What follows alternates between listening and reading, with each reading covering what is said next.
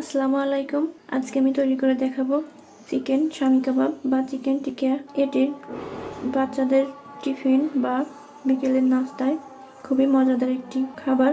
যেসব বাচ্চারা মাংস খেতে পছন্দ করে না, তারা অবশ্যই এগুলো খেতে পারবে আর খুব মজা করে খেতে পারবে। তো চলুন দেখে নেওয়া যাক কীভাবে চিকেন স্বামী কাবাব তৈরি করা যায়। কাবাব তৈরির জন্য এখানে আড়াইশো গ্রামের মতো মুরগির গোশ রয়েছে। হাড় ছাড়া এখন এর মধ্যে একে একে দিয়ে দিতে হবে বাকি উপকরণগুলো। এখানে বুটের ডাল সারা দিন ভিজিয়ে রেখে তারপরে ভালোভাবে ধুয়ে দিয়ে দিলাম একশো গ্রামের মতো। এখন দিয়ে দিচ্ছি একটা বড় সাইজের পেঁয়াজ, মোটা টুকরো করে কাটা, দুইটা ছোট তেজপাতা, রসুন কুচি দিয়ে দিচ্ছি, দুইটা মোটা কোয়া কুচি করে নিয়েছি, দুইটা লবঙ্গ, দুই টুকরো দারচিনি, দুইটা এলাচ, ছোট তিন টুকরো আদা আর এক চিমটি শাহি জিরা, হাফ চা চামচের মতো লাল মরিচের গুঁড়া, আর দিতে হবে স্বাদ মতো লবণ, সামান্য পরিমাণ হলুদের গুঁড়া। এখন এগুলোকে একটু সেদ্ধ করে নিতে হবে। সেদ্ধ হওয়ার জন্য আমি এটা একটা পাত্রের মধ্যে দিয়ে দিয়েছি, আর দিতে হবে পানি। পানিটা এমনভাবে দিতে হবে যেন মাংস আর ডালটা সেদ্ধ হওয়ার সাথে সাথে পানিটাও শুকিয়ে যায়। এখন এটাকে ঢেকে সেদ্ধ হওয়া পর্যন্ত রান্না করব।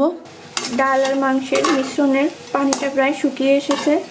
এখন এখানে দিয়ে দিচ্ছি এক টেবিল চামচের মতো ধনে পাতা। ধনে পাতা দিয়ে পানিটা একদম শুকানো পর্যন্ত এটাকে রান্না করতে হবে।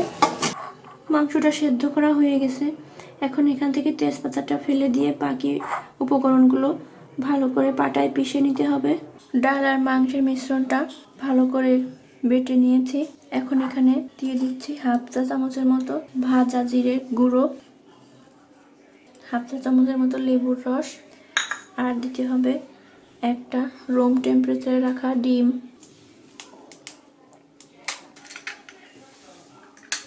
এখন এগুলোকে ভালোভাবে মিশিয়ে নিতে হবে।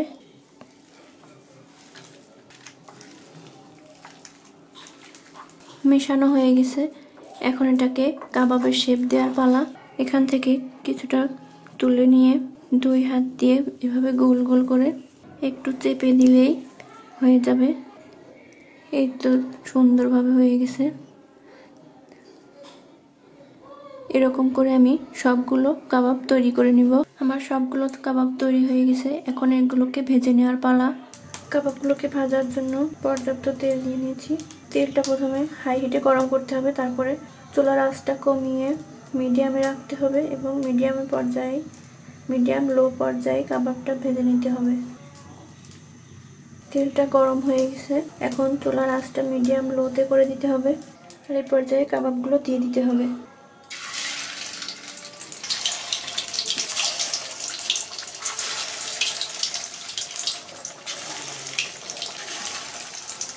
কাবাবগুলো দিয়ে দেওয়া হয়ে গেছে। এখন এগুলোকে ভেজে নিতে হবে এক পাশ হওয়া পর্যন্ত। কাবাবগুলো এক পাশ ভাজা হয়ে গেছে এখন। এটাকে উল্টে দিচ্ছি অন্য পাশ হওয়ার জন্য। সুন্দর একটা কালার হয়ে গেছে। এক পাশ ভাজতে আমার সময় লেগেছে তিন থেকে চার মিনিট। কাবাবগুলো দুপাশে ভালোভাবে ভাজা হয়ে গেছে। এখন এগুলোকে তুলে নিয়ে বাকি কাবাবগুলো ভেজে নেব। আমার কাবাবের রেসিপিটা আপনাদের ভালো লাগলে অবশ্যই লাইক কমেন্ট করতে ভুলবেন না। আর আমার সাথে থাকার জন্য, আমাকে সাপোর্ট করার জন্য আমার চ্যানেলটিকে সাবস্ক্রাইব করবেন।